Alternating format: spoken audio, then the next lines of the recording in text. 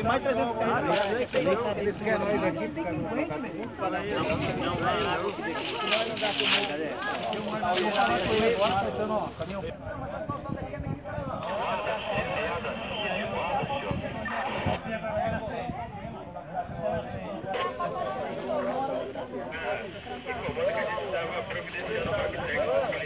que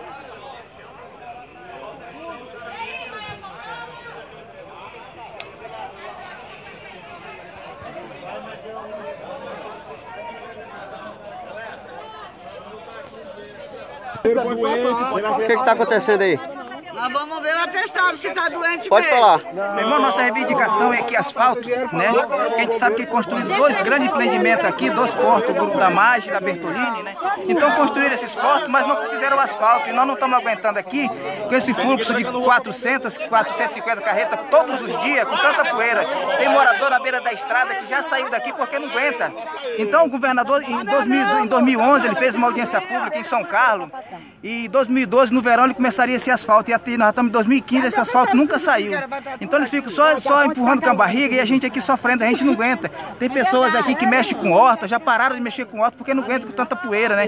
A poeira tomou conta de tudo, sem falar que na as- a igreja aqui também os cultos amenizaram um pouco. A escola, o pessoal não está querendo estudar mais. Dormir dentro de casa ninguém consegue. Porque o fluxo de carreta aqui faz tanto ser de manhã, de tarde ou de noite é o mesmo, né?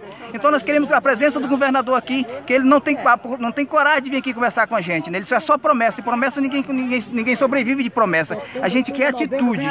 É muita prática que eles falam, é muita prática que eles falam, mas na teoria não fazem nada, né? Nós não queremos mais é, é, tanta prática, é, queremos asfalto, um asfalto de verdade. Porque nós estamos nós estamos dispostos aqui a ficar semanas e semanas aqui. Ninguém não quer nem saber quem vai ter prejuízo. Mas, na verdade, os prejudicados aqui somos nós que moramos aqui. A gente não aguenta, mano. Tá vendo esse povo aqui? Esse povo aqui tudo sofre. É crianças doentes com asma, é pessoas de idade indo para casa, chamam.